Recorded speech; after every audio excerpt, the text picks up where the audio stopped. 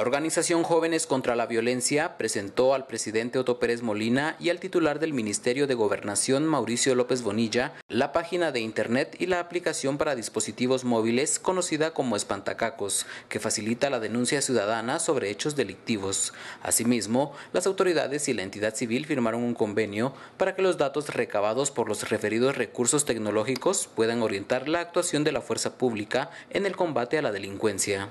En este aquí estamos hablando de, un plan piloto con el que ellos empezaron y cómo ese se va concretando en mapas georreferenciados. Obviamente también nosotros, ustedes recordarán, nosotros tenemos un portal, un geoportal, en donde vamos georreferenciando todas las denuncias que entran a la Policía Nacional Civil, todas las novedades diarias que hay, que nos va dando una forma de mapear el país y de tener eh, un mapa de riesgo sobre esa línea.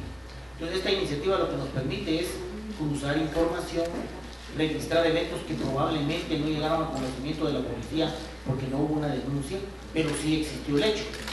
Esto en términos técnicos le llamamos un subregistro, ¿verdad? Es decir, todo aquello que ocurre, pero que no nos dimos cuenta porque no hay una denuncia.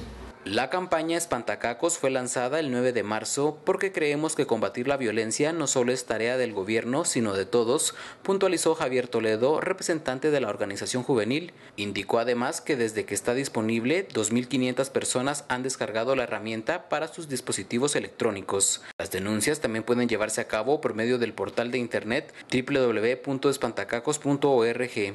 Para DCATV informó Jarvin Yelmo.